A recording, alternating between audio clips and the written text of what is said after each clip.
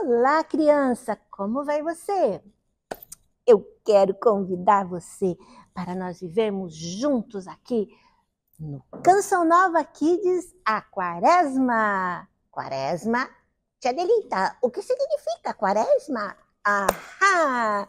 São 40 dias. A palavra Quaresma vem do latim, que significa 40 dias. 40 dias quer dizer que todos os dias, por 40 dias, nós vamos estar juntinhos aqui no Canção Nova Kids. Um vídeo diferente por dia, uma história diferente por dia da vida dos santos. Porque você sabe, né?